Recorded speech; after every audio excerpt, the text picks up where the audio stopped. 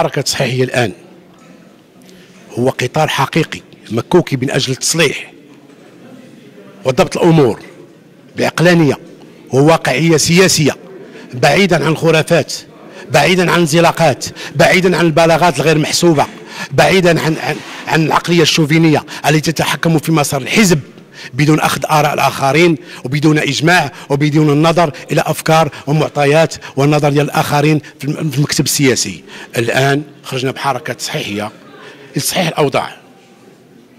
نحترم الصحافة نحترم الإعلام نحترم المؤسسات نحترم الثوابت لكن نركز على التغيير.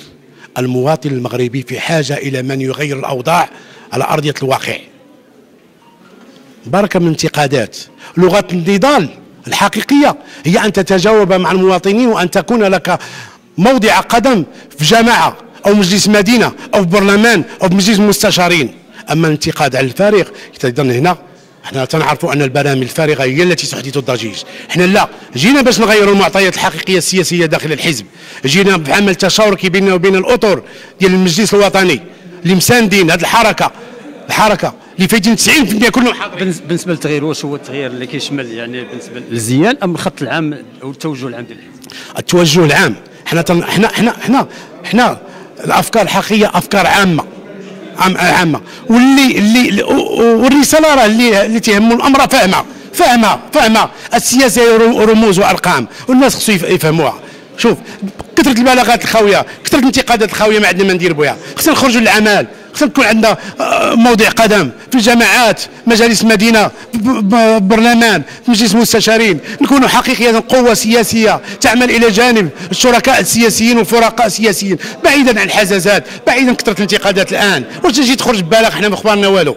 أو راه اي حاجة تتقال بعمل سياسي. راه السياسة علم يدرس السياسة الحقيقية هي عمل تشاركي. ليست ليس المسائل الفردية أو الشخصيه اللي عنده مسائل شخصية خليها مسائل شخصية. بعيدا عن الحزب. الحزب تيبقى للجميع وعمل تشاركي ومؤسسة دستورية معروفة. لا بغينا نزيدوا بالحزب. اذا نجلسوا نغلبوا جانب الحكمة والتبصر وأي قرار. يدوز عن وسائل ديال الحوار. كاين كاين مكتب كاين مجلس كاين نواب. ودرنا إحنا هذه الحركة هنا وغنطوروها غنطوروها غنمشي لجدال ديال الندوات وغنخرج المؤتمر الاستثنائي غنخرج المؤتمر الاستثنائي بكل حكمة وبكل تبصر وغنمشيو بالتصعيد لأجل التغيير.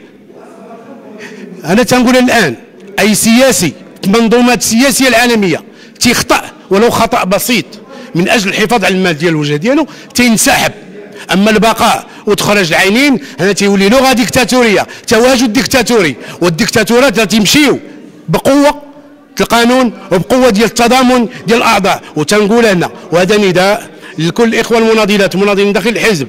الأستاذ إسحاق شارية الأستاذ سعد السهلي الأستاذة لمنى وجميع المناضلين الشرفاء.